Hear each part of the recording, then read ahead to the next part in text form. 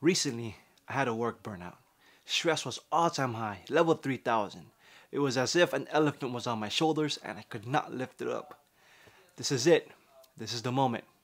I'm actually burning out, man. Hi fam, Randy Speakz here.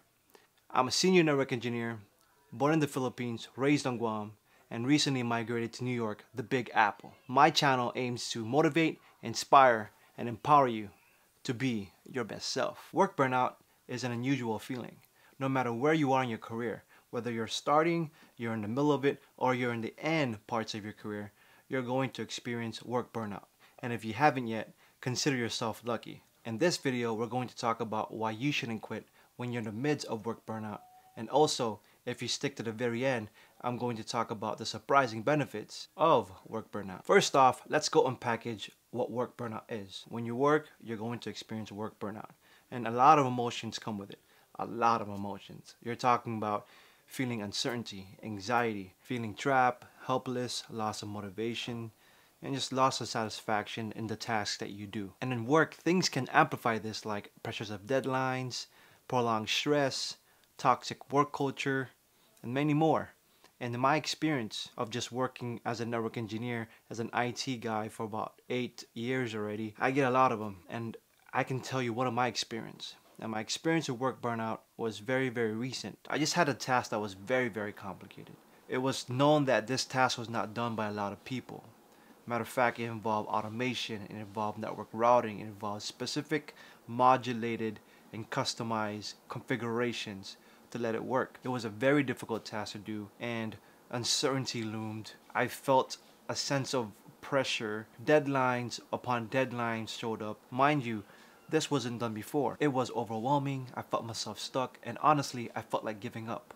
Each week I felt stressed, and each week I felt so exhausted. And after some self-reflection, I figured out that this moment or that moment was the perfect time for me to grow. It was then that I remembered how happy I was to get the job. It was then that I remembered that I was happy to get a senior position. It was then that I remembered that I was happy to actually go into the job. I reminded myself that I was happy at the very good times, but at the very bad times, I can't just give up because I knew how much a job means to me and my career. So I switched gears. I hung in there a little bit longer. I studied. I did my best to mitigate the burnout. And the goal that I had, I separated to sub-tasks. And little by little, as I accomplished those sub-tasks or those small goals, it was complete it was then that I realized that if I just hang in there a little bit longer and the things that I do, I would reap the rewards of finishing it through. And then from this moment on, I figured out that there is very, very great benefits for you when you mitigate your burnout and when you push through. So this brings me to my next topic, which is the benefits to work burnout. The first benefit to work burnout is you find clarity. You realize what you deserve and you realize what you want. You realize whether your job was meant for you, whether the time you spend on your job is worth it, whether the effort you're doing is going to give you what you want in the future. You find clarity. The second benefit is you understand your limits. You understand your limits, so you know your weaknesses and you know your strengths. You work around your weaknesses and you lean on your strength to complete the task. If you're weak at something, you study more. You do what it takes to build your skill set. And if you're strong on something, you lean on those to complete the task. Number three, my favorite, you learn how to take a break. Usually when you're so into your work, you get lost track of time. You just time travel. And usually that time your mind is just so exhausted. Your mind is almost like a muscle, right?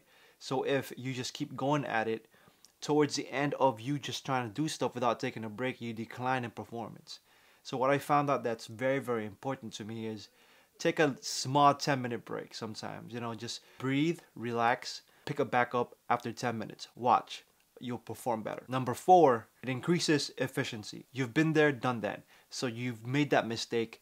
You've been there and you know what to do when it comes to that situation. So usually when you go through the same thing that caused you to burn out, you know the solutions to that.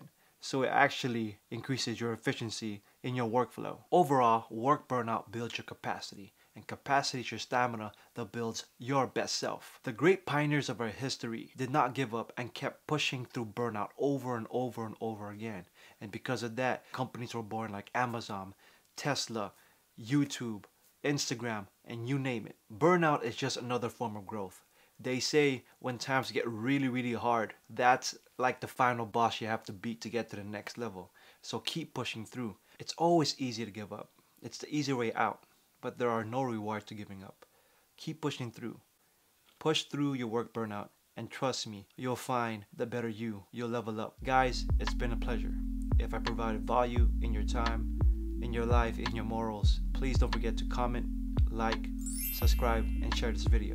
And if you like more of this video, click on the link above at the end of this video, and I'll see you next time.